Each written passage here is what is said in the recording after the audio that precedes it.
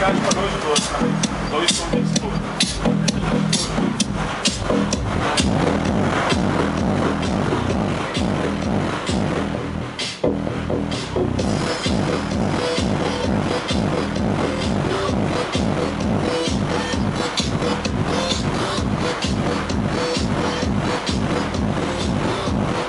Thank